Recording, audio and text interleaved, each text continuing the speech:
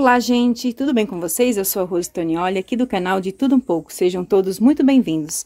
E hoje eu vim compartilhar com vocês como eu cultivo a minha Black Prince, ou Príncipe Negro, né? Olha só que lindeza, gente. Olha só essa daqui que grandona. Ó, tá soltando ali, ó, haste floral.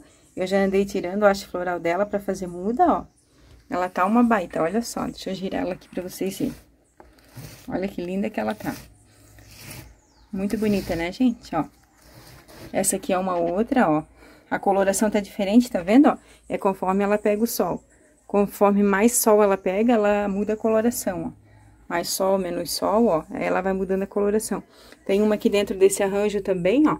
Que eu fiz essa bacia, olha que lindo que ela fica em contraste com as outras suculentas, né? Devido à cor dela.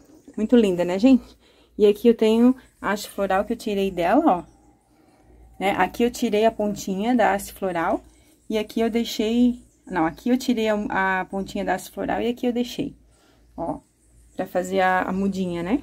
Também pode ser feita mudinha com a folhinha, né? Tirar folhinhas de baixo, colocar numa terra adubada, depois germina e vira também essas lindezas também, né? Vira bebezinho, vão crescendo. E elas são de muito fácil cultivo, tá, gente? Muito lindas. Aqui vocês veem que ela tá em uma manchinha ali, ó. Se vocês perceberem bem, é que eu passei o sulfato de cobre que eu uso o sulfato de cobre, assim, também para prevenir as pragas, né, ó. Coloco em todas as minhas suculentas, em tempos em tempos, ó. Mas depois vai saindo, conforme a gente vai regando ela, daí sai e fica tranquila de novo. Olha só que lindeza, gente. É muito linda, né? Eu acho ela uma suculenta muito linda. Bem forte, as suas folhas bem gordinhas, bem rústica, né?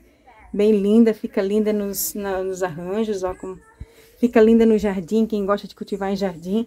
Claro que tem que adaptar primeiro ao sol, né? Não pode chegar lá no jardim e botar lá no sol direto. Vai adaptando aos poucos, né? No vasinho e depois planta lá no jardim. Olha só que lindeza, gente. Como que eu cultivo elas, então? Eu, a, o substrato dela, né? Eu deixo, eu uso bem soltinho, tem drenagem ali no vasinho, né? Ó, uso o substrato bem soltinho, né? Ela pega o sol das duas horas da tarde até o sol se pôr direto daí, né? De manhã, onde que ela tá ali na beirada da janela, ela não pega sol, só pega das duas da tarde em diante, né? Ó, que lindeza. E a rega dela, eu rego ela uma vez por semana, né? Depende de onde que você mora, né? Se é muito quente, né?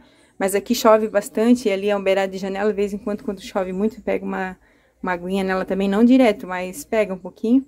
Então, eu molho ela uma vez por semana, deixo secar bem o substrato para poder molhar de volta, né? E o sol, né, que, e adubação.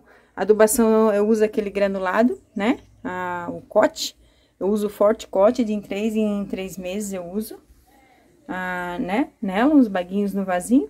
E é isso aí, bem simples de cultivar, né, e espero então ter ajudado vocês com quem tá aí procurando dicas aí com a Echeveria, né, Black Prince, essa lindeza, né, Tá bom, gente? Se você gostou do vídeo, não deixe de curtir o vídeo.